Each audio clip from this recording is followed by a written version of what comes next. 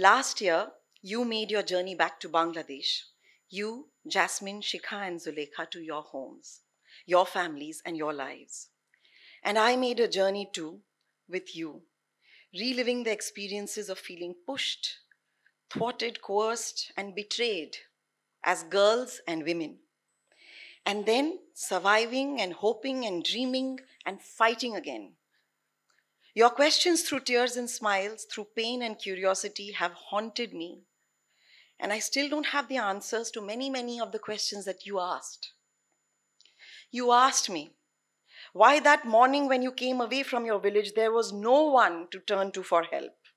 If those we consider our own are not there to listen to our cries, then who is? You asked me that why different spaces all feel the same, why the care and nurture always feels conditional. Whether at the brothel where I was sold, at the shelter home where I was kept for three years, or whether at my village home, which punished me for dreaming. Why do all of them seem equally good and equally bad, Didi? I heard the apprehension in your voice while preparing for the journey home. You said, Whatever I have done and whatever I have been through, they will take me back. They are my parents, they are my community, and despite how angry they are, they will take me back. They will take me back because I am sad and I had been in trouble. Right, Didi? Parents do that for us, don't they? In my head, I still hear you bravely say, I will have to trust again. Otherwise, how will I go on? Maybe I will fall again, but I will have to believe in myself every day and wake up to the sun. Henna Didi? I had no answers then, Bilkis, but I held on. I listened to you and to the others, and I learned so much. I learned how to form a connection of the spirit, a connection that happens when someone talks with someone rather than you talk to or talk to for them. I learned that care and control are the two sides of the same coin.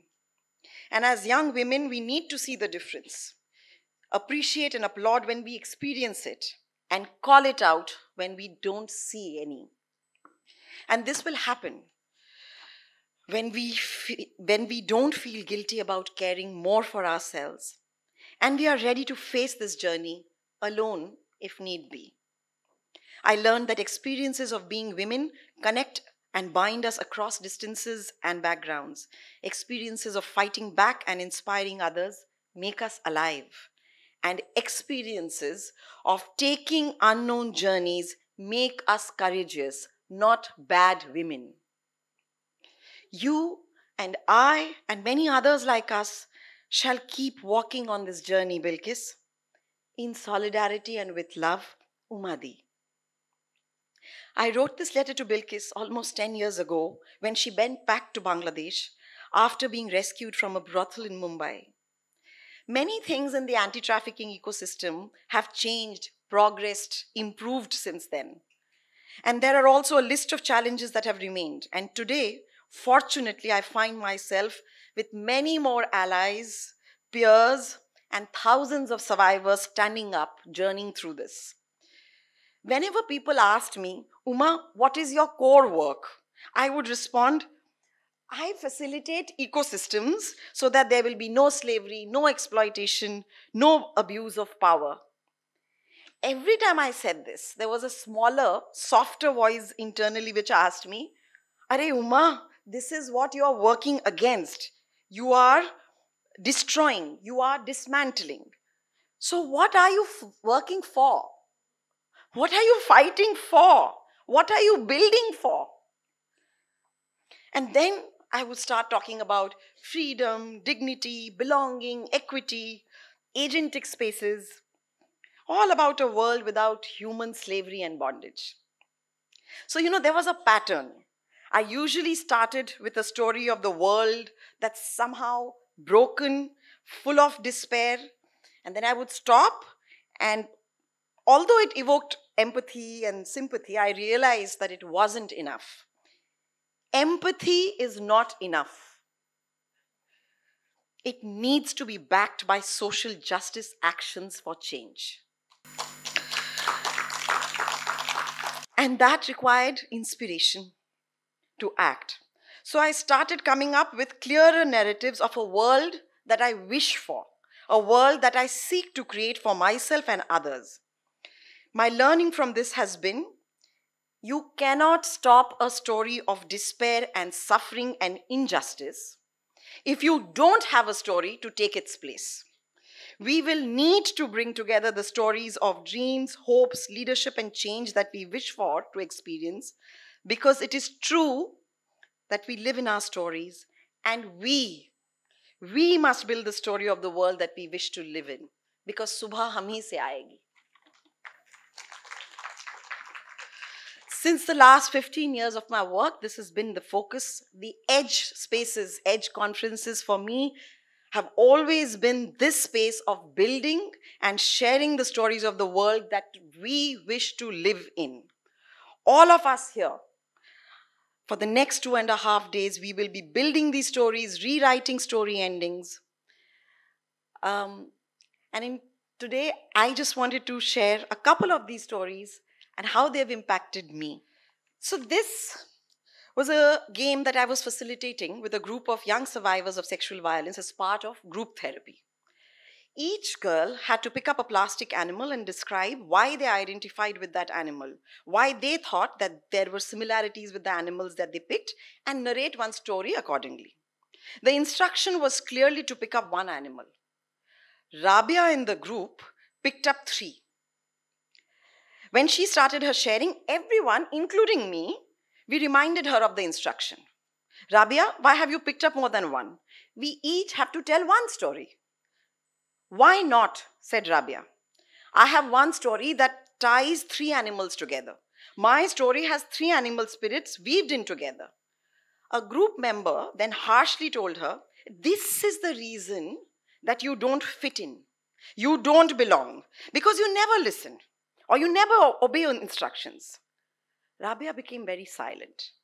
The group member continued, you have too much of a mind of your own and you keep sharing openly. It makes others feel unimportant and they reject you, Rabia, and they exclude you consequently.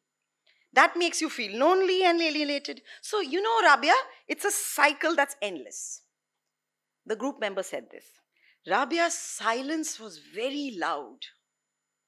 And her quietness, it just overwhelmed me. And moments and events like this, they taught me two things. First, the difference between fitting in and belonging. Fitting in, by its very definition, is to cut off our wholeness in exchange for acceptance. Like Cinderella's stepsisters did, they cut off their toes to fit into the glass slipper. It is a false sense of belonging. It requires that we keep silent, we hold our tongue to avoid chaos and conflict, and we perform a repetitive role that prevents us from growing. But there are costs, there are prices in, that you pay for this adjustment. And after a time, it becomes impossible to ignore, and we can no longer compromise ourselves. I will never forget what Rabia later shared with her peers and me in that group. She said, If I do what you say, I may fit in for you, but I don't belong here then. I am not myself here anymore. The second insight for me was about silence. There are many kinds of silence as there are voices in the world. For example, there is a silence between musical notes. We tried to sing, I tried to sing in the morning. But uh, so there are many kinds of silence and music, you know, a silence between musical notes, a silence that comes on suddenly when something, when you see someone or you see something of immense beauty um, the silence when we invite another person's story to be heard, the silence before something mysterious is going to come up or to be revealed. But the kind of silence and quiet that is inherited or administered by shame is terrifying. Because this kind of silence grows out of being discouraged and devalued, and it breeds isolation and disconnection. Silence is a power because it keeps what's vulnerable from criticism, scrutiny, and judgment. But often in the long run, silence turns upon its keeper, inhibits one's natural impulse to speak, inhibits the urge to sing, the longing to belong, and it strips us from fulfilling our purpose. When thousands of rabias become silent, then everything that follows is lesser than truth. Injustices are not named, change is not evoked, revolutions don't emerge. Back home in North Bengal, after being rescued in 2011, Yasmin was fine, but she lost 12 kgs in a span of one month. She was home with her family, but somehow she had lost appetite. She had to share her meals with her brother in law, who had sold her to the traffickers, but she had to be okay and adjust to that for family peace. Her family had accepted her, but hated that she now used a toothbrush instead of datun and finally asked her to choose between the home and Mumbai habits. She questioned her connectedness with everyone around her, her conditional acceptance by her own people. For her family, being trafficked was a sin that she had committed, not a crime that was done to her. Justice was never spoken of. Yasmin found it difficult, almost impossible, to voice her pain and anger alone. I knew then that Yasmins in our ecosystem, they need allies and advocates, not saviors or spokesperson.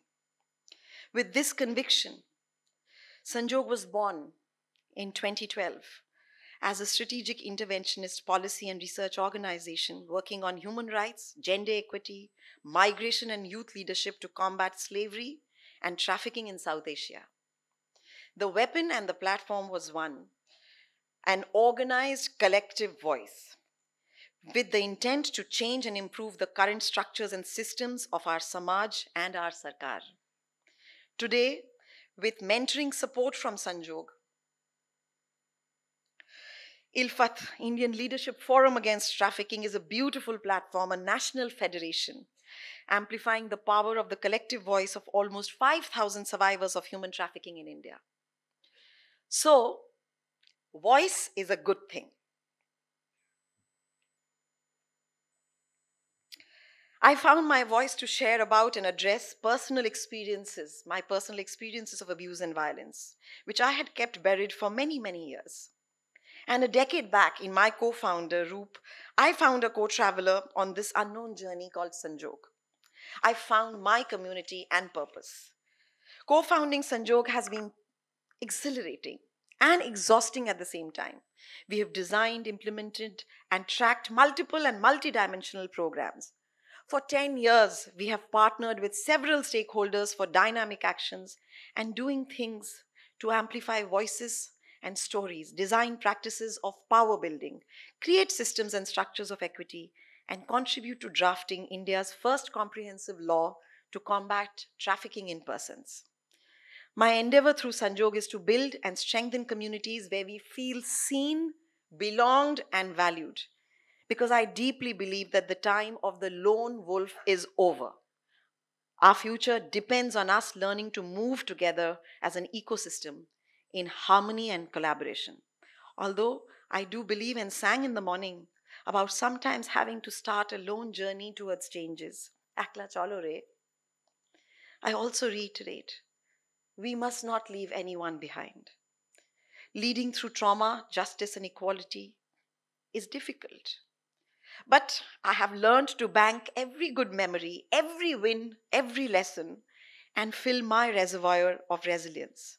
I draw on that reservoir whenever I am in despair and I feel vulnerable.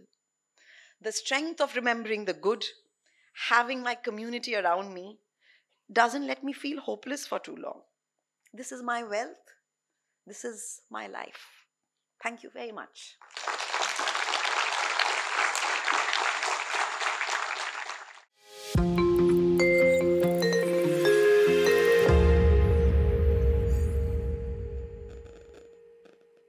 I started what I do today uh, 13 years ago. Um, call it an accident, call it a coincidence. Uh, I think of it as serendipity. Unplanned. And my third act in my professional journey.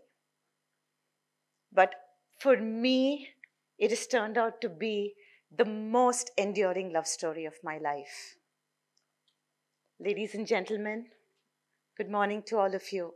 My name is Vijaya Balaji, and I hope in the next few minutes I can just walk you through a little bit of the fantastic, inspiring things I get to do every day, which I call work.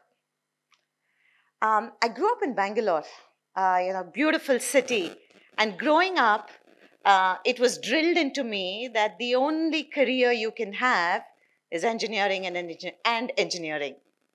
Um, there wasn't a world beyond the world of engineers. And it didn't help that my parents were both academicians. Strangely enough, I did not have a reverence for academics like they did. Um, a few not so um, uh, correct things, including being asked to stay out of college, uh, the common word being suspended for a week was also there. Um, and I chose to do everything that the college offered except academics. What saved me was that uh, we won the doubles badminton championship, and so the sports professor said she should be led back into the college because we had the rolling trophy for a year. I then went on to get a degree in business management and went into a job where neither did I have the inclination nor the aptitude. But my brief stint in the corporate sector, for which I have a lot of regard and respect, were full of mistakes and a lot of learnings, and a boss who today serves on the board of an organization I would go on to set up the operations in India. I knew that um, while I dabbled in a few things, I was a trailing wife, my husband was in banking, uh, and I spent the first few years just dabbling in a bunch of things after that. Um, but I knew I wanted to do something. Uh, you know, this restlessness uh, and the fact that I said by the time I turned 40, I need to find something that would fuel this restlessness and this nervous energy that I had. And so on a Sunday evening, uh, I met two people who were very, very different from each other. Uh, it was not the sort of uh, recruiting conversation that I would have hoped to have because one of them said, We shouldn't hire her. She's too much of a people's person. She doesn't know anything about systems and processes. Uh, the other gentleman, thankfully, uh, disagreed. And so before I knew, uh, I went on to set up the operations of an organization called Toolbox India Foundation. The first 90 days were hard. I didn't know what I was doing, and I wasn't really sure if I should continue with this. Um, you know, Toolbox till date uh, leverages skills of corporate professionals in their individual capacities to offer pro bono support to bootstrap nonprofit organizations. Um, the first six months were, uh, you know, tested me in many ways, including my husband who told me that uh, he refused to let me accompany him to social dues because everywhere I would go, I would go looking to headhunt for volunteers. Um, but I'm glad I, I, I, stuck around. There are so many uh, moments which, um, which sort of got Toolbox to where it was, which were very instrumental uh, in my own journey. Uh, Nagma already briefly alluded to the first meeting which we had. Um, but the incubation with Edelgive, with the belief that Edelgive Foundation um, sort of put in me really, really transformed a lot of things for me professionally, personally, and for Toolbox. So in 2020, a year before we were 10 years old, uh, we delivered 100 projects in a given financial year across the country. I now look back and wonder how we did it because we found those volunteers and those organizations who worked with us. So 2021 was our 10th year. We had delivered over 650 projects across India. We had more than 750 volunteers who had given us their time. And the biggest learning for me with that was that good intent will only sort of exponentially bring in more goodwill. And the beauty of Toolbox's journey and story is that, that the work is done by our volunteers. There are two founders who don't serve on the board. And in that sense, Toolbox really is belongs to everybody. For me, uh, what Toolbox did was bring about that passion and purpose which I had been seeking. Now, while Toolbox was um, sort of growing, if I can use that word, four years after I, said, after, uh, I started work at Toolbox, I was not nudged but bulldozed into setting up Social Lens by someone who is not only a dear, a dear friend but also my harshest critic. Now, Social Lens came about as a boutique organization. I love using that word. It sounds cooler. Um, but what Social Lens does is really work with uh, grant makers to support the ecosystem. I see myself as an ecosystem builder. Somebody sitting in this room in the front row said, Vijaya, stop saying intermediary. What you do is ecosystem building. Vidya, that's you. Um, but a lot of the doubts sort of resurfaced again, okay? Just when I thought I was getting to know uh, a little bit about what I had to do. If you're turning entrepreneur in your 40s, uh, you're not the poster child, really. I'd started this, you know, what I came to do about a toolbox without knowing how to even fundraise. I wondered whether I, I was, you know, what business did I have to set up an organization, uh, bring in um, clients who who's, and partners who saw the work I was doing and also become, become responsible for a, a young team who placed their faith in me. I became responsible for the careers that they would go on to choose by working with me. You know, I recently watched Diana Nyad's um, story. And uh, I think for those of us who need that injection of inspiration, people go watch it. Uh, on her fifth attempt, she crossed, she swam the open sea from Cuba to Florida. She did it when she was 67 years old. At a time when we're pushing all kind of barriers and age being one of them, her story struck a chord for me. More than anything else, I think what was exceptional was she swam it 35 years after she quit competitive swimming. 13 years, uh, you know, at Toolbox, and the learnings have been so much. I would say that it reinvented me, it redefined me as a woman. I think it, it opened up a whole new perspective of what and who I could become. And it is only through my work that came about. You know, uh, funny anecdote because every year at the end of each financial year, I'd go to Edelgive and I'd meet uh, Nagma and I'd go and tell Nagma, so, you know, Nagma, are you going to, I mean, is it going to be work that I'm going to be doing? So, what are we going to be doing? And I have seen her expression range from amusement to exasperation, maybe even mild annoyance. Because she's like, how many times are you going to ask me this? And then one day she called me into the office and she said, okay, here's a hundred of them. Is that enough?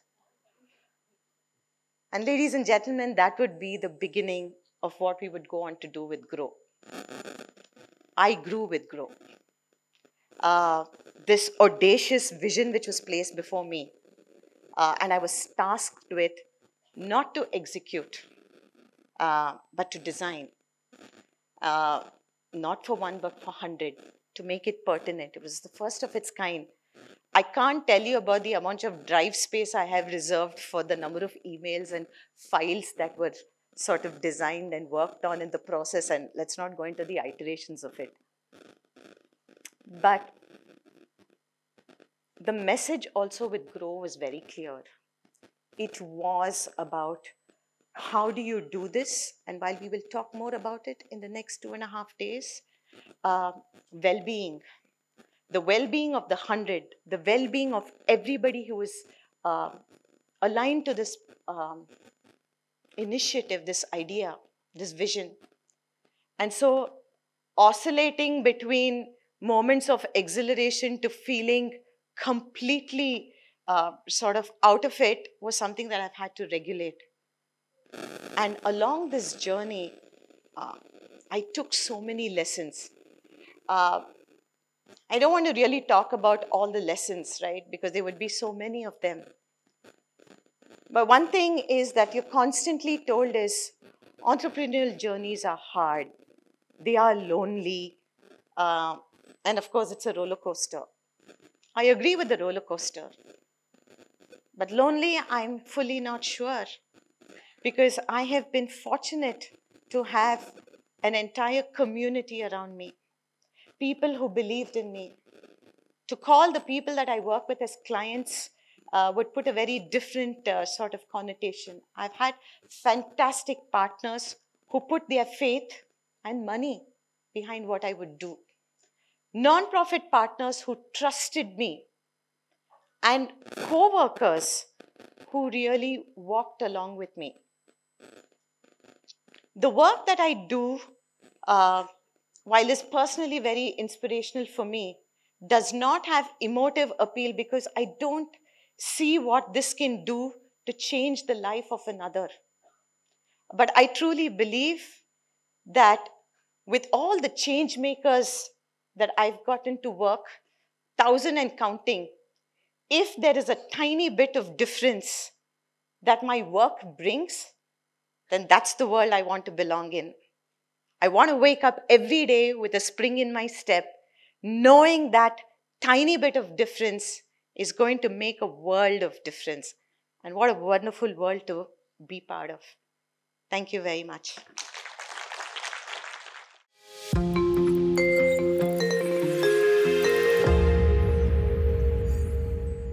I don't know what you set me up for, Nagma.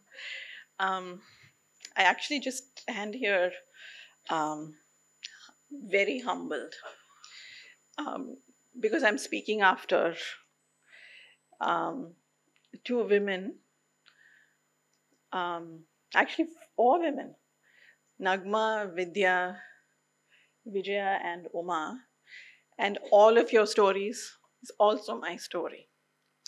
In fact, I was just thinking about all the words I had typed out this morning that I wanted to say, and you've used all of them. And so I have to start a little bit with a blank slate. But I'm also going to begin with um, just saying that I want to talk a little less about myself and a little more, more about my questions. Um, because I struggle with my questions, and I what, what I decided today is I'm not here speaking to you um, in my professional capacity, but I really wanted to talk to you about the struggle of our inner and outer lives, which Vidya so eloquently uh, began for us. And I just wanted to really respect and honor the fact that we've come to a point where we have um, a way in which power and resources get exchanged in today's society in philanthropy that we have women who are leading philanthropies. And you can already see in the first 45 minutes of this three day session what that means for the world. And I think we can just begin with that acknowledgement. I also want to begin with poetry, Vidya. Um, and I didn't have time to look for a better translation, so you have to bear with me. I'm reading from Coleman Barks's um, translation of Rumi. But I also want to confess that much of what I'm going to say, I'm going to quote lots and lots of people but I'm not going to tell you where they're from for two reasons. Um, one, because I, I'm hoping that it'll make you curious and you'll go look and find them for yourselves. Two, if you can't find them, you'll come and find me to find out where I got that, and then I'll get to make a new friend. You have no idea how hard I've looked for a gift to bring you. Nothing seemed right. What is the point of bringing gold to the gold mine, our gold mine, or water to the ocean? Everything I came up with was like taking spices to the Orient. It's no good giving my heart and my soul to you because you already have all these. So I have brought you a mirror. I hope you will look at yourself and remember me. That's what Rumi said. But what I brought with me today are a few words which I'm holding up as a mirror to myself so that I can remember all of you. All of you, this community to whom we owe the hospitality of Edelgive. I think it's important that we acknowledge this hospitality. It's, I think we forget how important hospitality is in, in today's, um, today's world. The conviviality and the friendship to imagine and dream a different and more equal world. And I'm convinced that that's a mirror that we all look into every day. I don't think I have to really try very hard to say that we have different sets. We, I'm sure we have different sets of mirrors, but one mirror we all share, I think, is the one where we really dream that dream of a more equal world.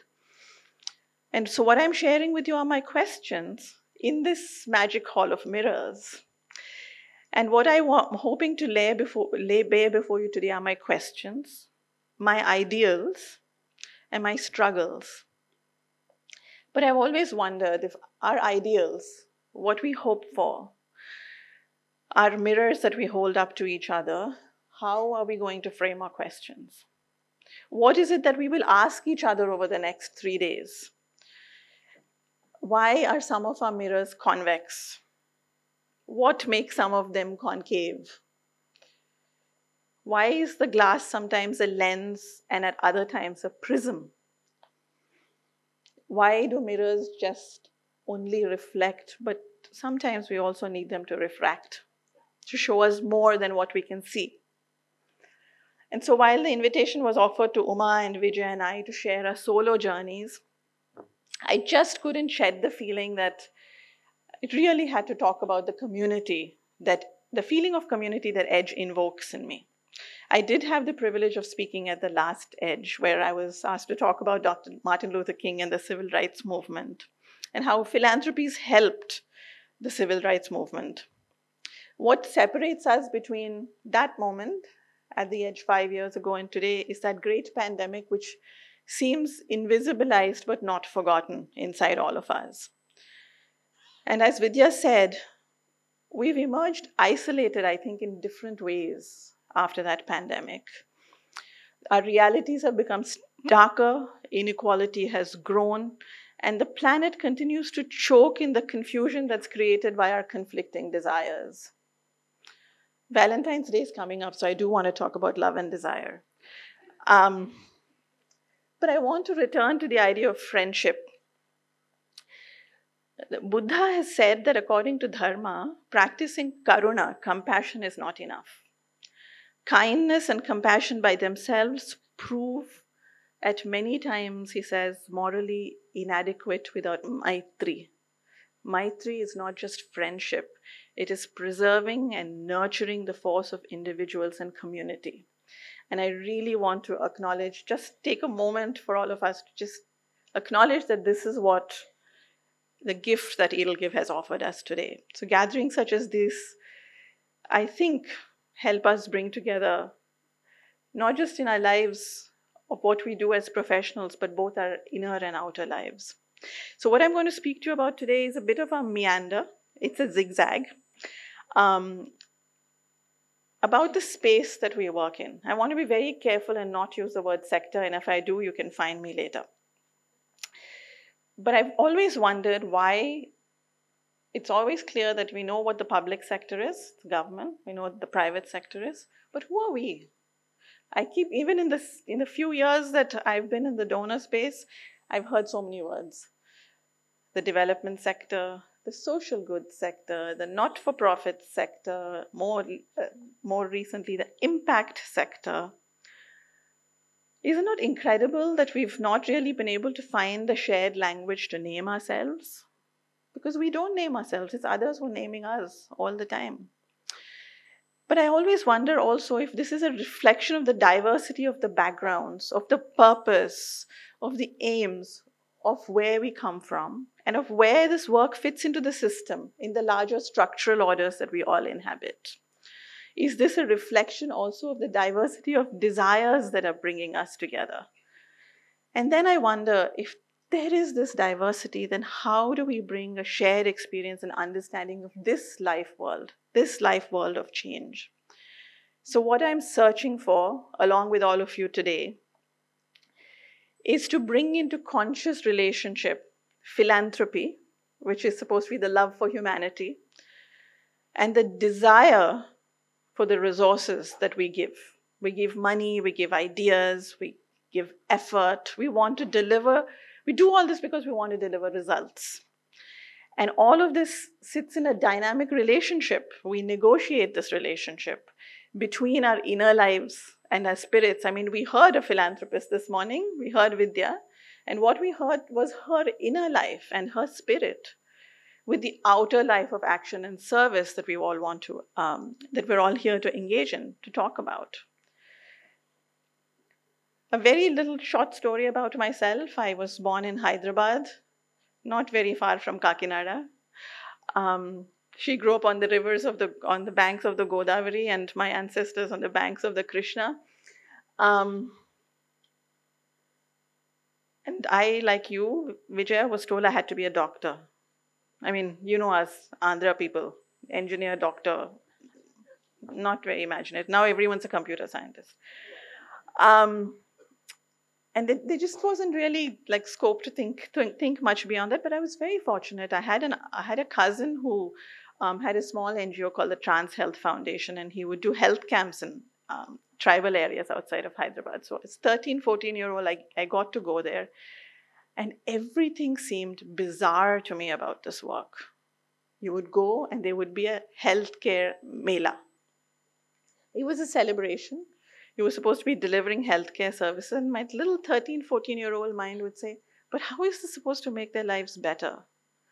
There were charts that would say, don't use oil to fry too many times. And I would think in my middle class home, we had to use oil so many times. Why are we telling people who don't have access to resources not to reuse their oil? Like nothing really made sense. But that was my exposure to the development world until my family immigrated to Canada. And I was studying to be a doctor.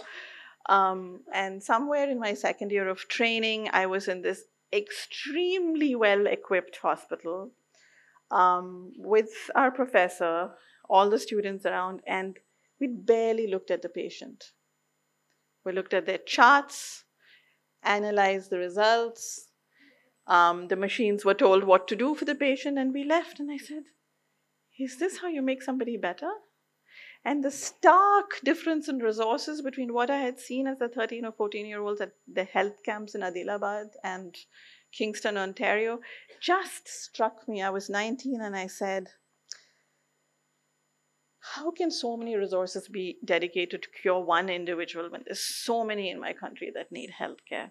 And I said, okay, I have to study public health. We have to do, I have to do something big. Can't just be doing one patient at a time. So I quit medicine and I went into po- population health because I thought we need systems. Because systems leave people out, they leave communities out. But I also realize that systems are ideals. Ideals never always just make us whole on their own. But I was very fortunate that my public health training in the 90s was still very much influenced by the wonderful Alma Ata Declaration. Whoever hasn't read it, please go read it. And I worked in uh, tuberculosis prevention with immigrant and refugee communities. And what we realized was when sub Saharan refugees came to Toronto, um, there were large numbers of them that came. their relapse rate of TB was highest in the first two years of them immigrating to the country. They're coming to a country with better health care, universal coverage. They didn't have to pay for it, but they were getting sick. And our research showed that a lot of it had to do with the lack of power they felt in their own life. Their levels of stress were so high, their decision making was limited. And, and that's what we began to really realize in, in our public health space was there was a direct correlation between the powerlessness that one feels and your experience of health. Ill health was really a biological manifestation of deprivation. So, if equity is really tied to power, then what are the ways in which we can share power?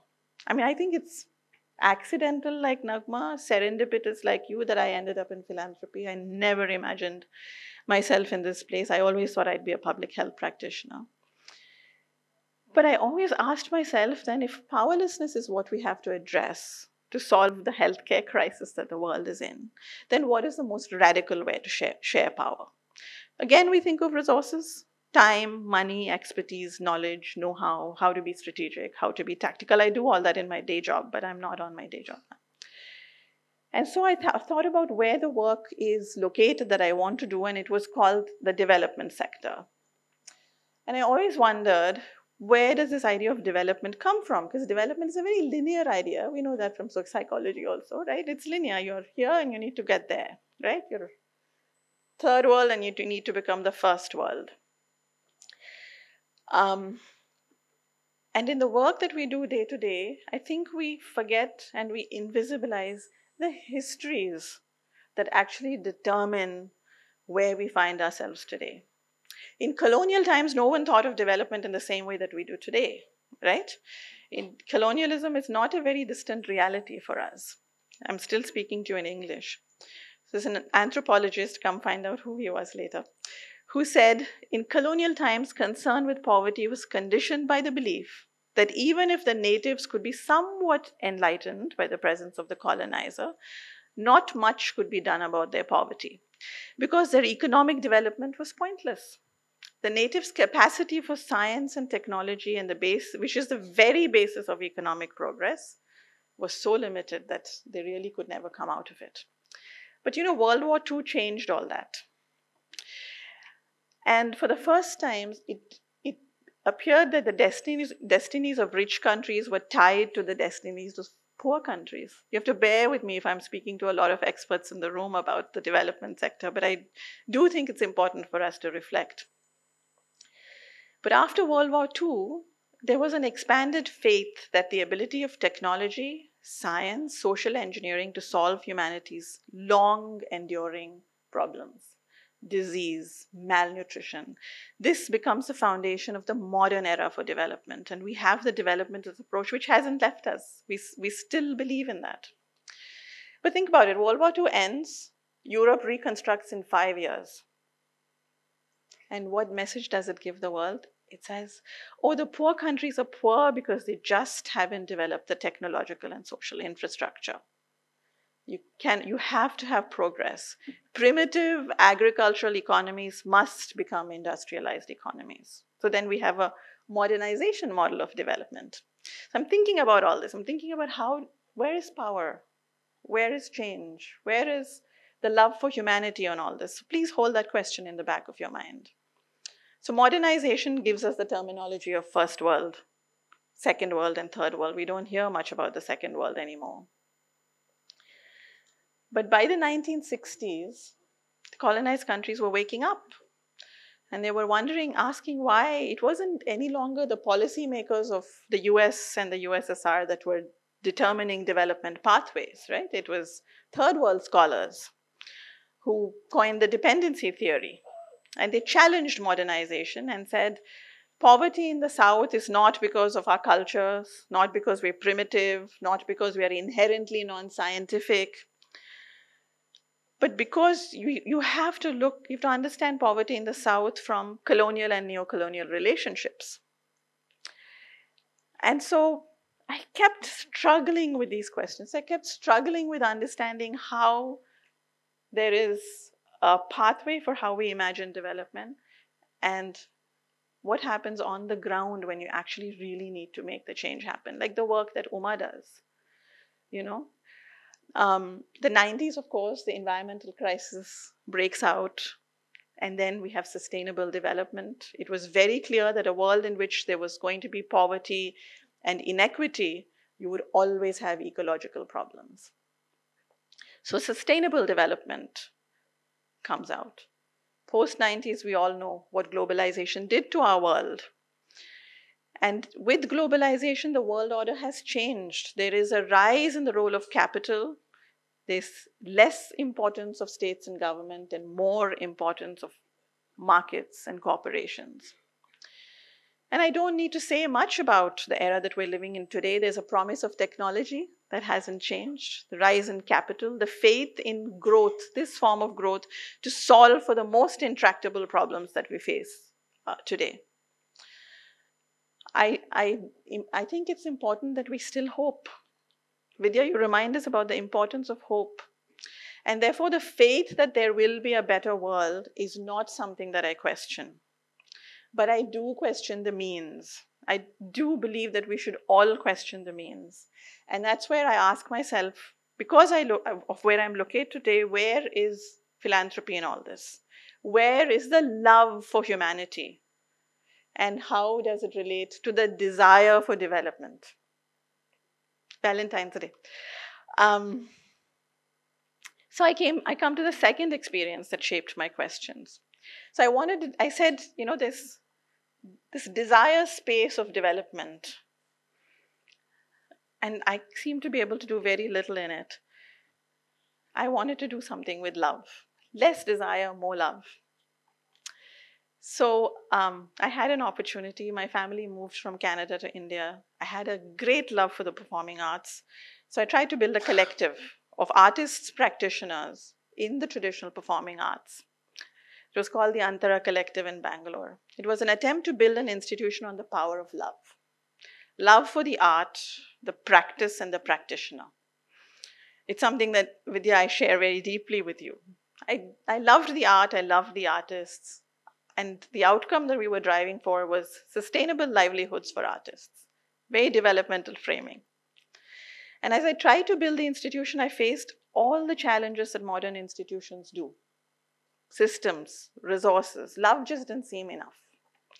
Resources were very hard to come by. We had to register, we had to formalize, we had to raise funds. Nobody funds the arts in this country.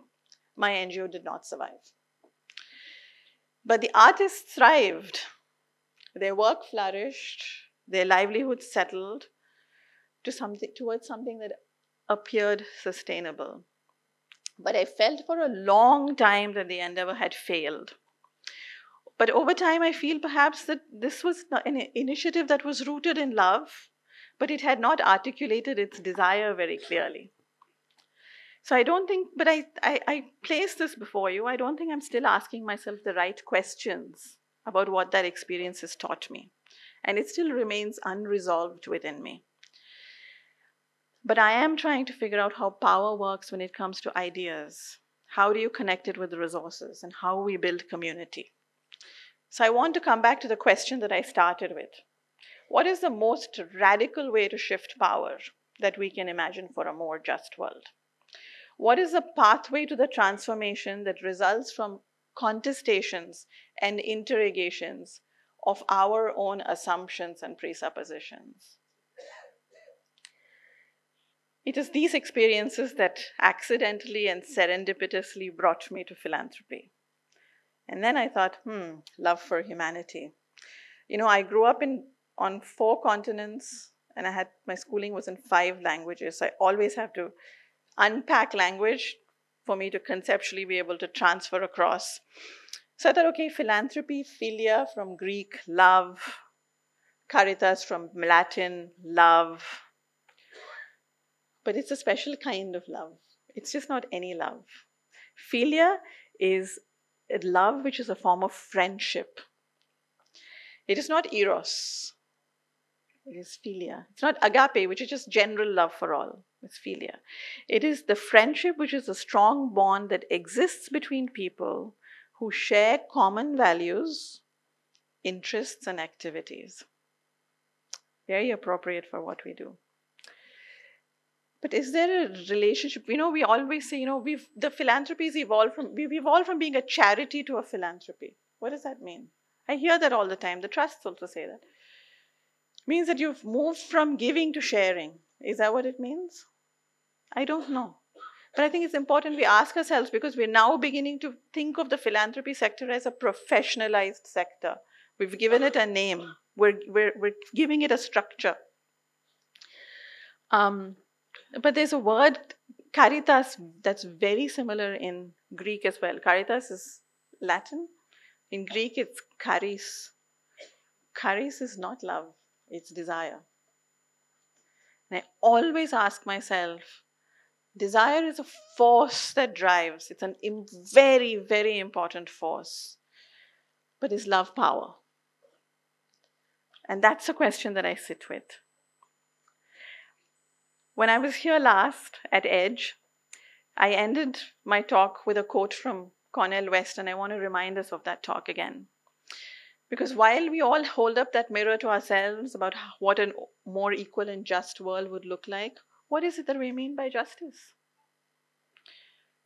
Cornel West says that justice is what love looks like in public. Just like tenderness is what love feels like in private. He also goes on to say that when you love people, you hate the fact that they're being treated unjustly. Justice is not simply an abstract concept to regulate institutions. It is also the fire in the bones to promote the well being of all. And so, with our friendship, the friendship in old traditions is often referred to as the highest point to which virtue can reach. We all want to be virtuous at some level, I think. But virtue here is the habitual facility of doing good things. And that habitual facility is facilitated by community. And so that is why we need each other to cultivate that habitual facility of doing good things. So I want to close today by reminding us of what Ambedkar said, since we're standing in a place named after him. He too asked for Maitri. He describes it as a fellow feeling of all beings, not just to one who is a friend, but to a foe. Not to man, woman, but to all living beings. So thank you, Edelgive, for this community, for friendship. And perhaps we can imagine now a philanthropy which will have a little more love and a slightly different form of desire. Thank you. Música